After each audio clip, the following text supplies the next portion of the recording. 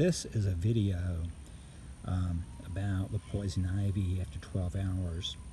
Um, with the apple cider vinegar, you can see here that the sores are still there, but um, there's no liquid or anything on there, and they're beginning to heal really quickly uh, because of, of, being able to get the oxygen and stuff.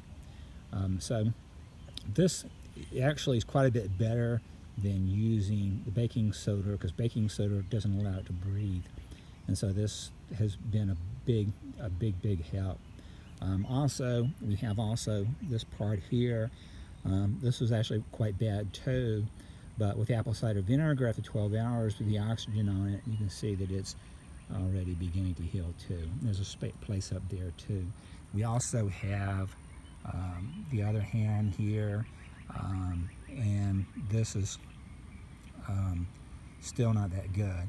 But the stronger things like tea tree oil and stuff like that, and uh, the baking soda, they cl they clog up the things where the it can't heal. Whereas using the uh, apple cider vinegar allows it to heal, and um, is is also something you can actually just go ahead your own functions.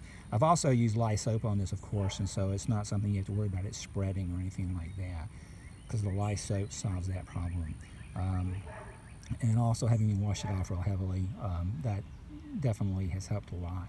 Um, so um, you just have to deal with the sores and wait till it heal, heals on its own. The apple cider vinegar seems like a pretty good way to do this. Um, anyway, that's all I have to say for right now. If you haven't subscribed yet, please subscribe. Thanks a lot.